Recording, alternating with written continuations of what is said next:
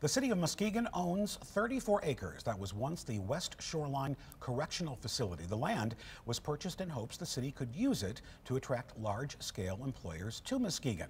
And with a vote last night, it appears the city has done just that. But as 13 on your side Lakeshore reporter John Mills explains, some people are concerned about the company planning to expand and bring new jobs to Muskegon.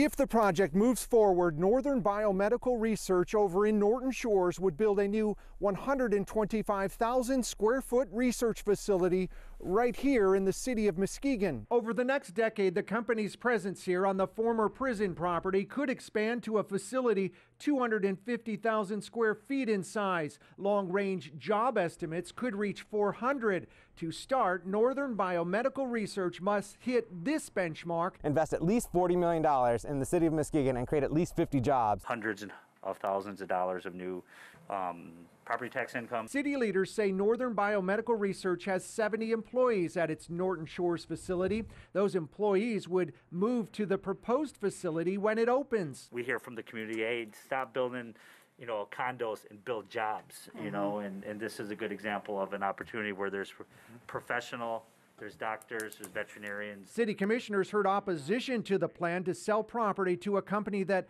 on its website, says does medical testing on non human primates, dogs, rodents, pigs, and sheep in an effort to help develop cures for treatment of unmet medical needs. I don't care if it's a monkey, I don't care if it's a rat.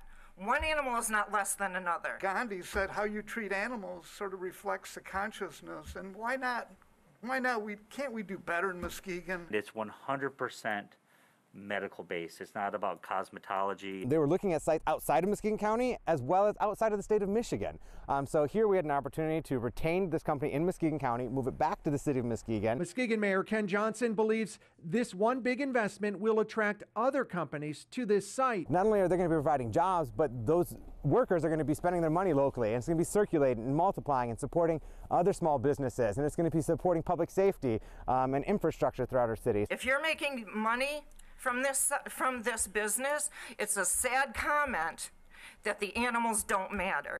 And 13 on your side made attempts to reach the company to learn more about the proposed building project. A representative from Northern Biomedical Research told me no comment. In Muskegon, John Mills, 13 on your side.